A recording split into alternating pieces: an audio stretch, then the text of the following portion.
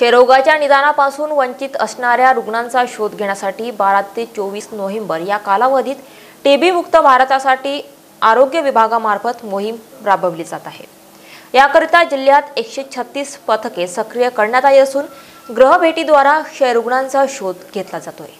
क्षयरोग या गंभीर आजाराला आळा घालण्यासाठी सार्वजनिक आरोग्य विभागामार्फत दोन हजार तीन पासून सुधारित क्षयरोग कार्यक्रम राबवला जातो या आजाराविषयी समाजामध्ये जनजागृतीद्वारा क्षयरुग्ण नोंदणीचे प्रमाण वाढवून क्षयरोगाचे समूळ उच्चाटन करणं गरजेचं आहे.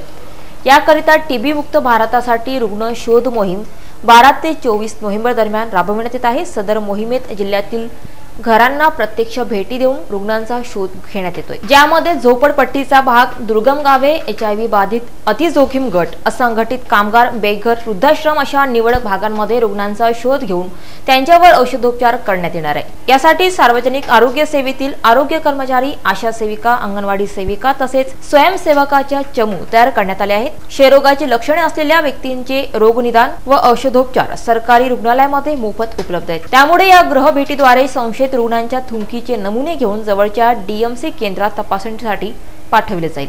या विशेष मोहिमेत अद्याप निदान न झालेल्या क्षयरुग्णांचा शोध घेऊन त्यांच्यावर उपचार करण्यात येणार असल्याची माहिती जिल्हा क्षयरोग अधिकारी डॉक्टर डी एन निकोसे यांनी दिली. अमरावती जिल्ह्यामध्ये चोवीस लक्ष पॉप्युलेशन आहे. गाईडलाईननुसार जो दहा टक्के पॉप्युलेशन आपल्याला घेणे अपेक्षित होते. आपल्या जिल्ह्यामध्ये आपण तीन लक्ष अठरा हजार पॉप्युलेशन एच आर जी म्हणजे हायरिस्क ग्रुप मधून घेतलेली आहे. आणि ते सर्वेक्षण करण्याकरता जिल्ह्यात एकशे सत्तर टीम आपण तयार केलेली आहे.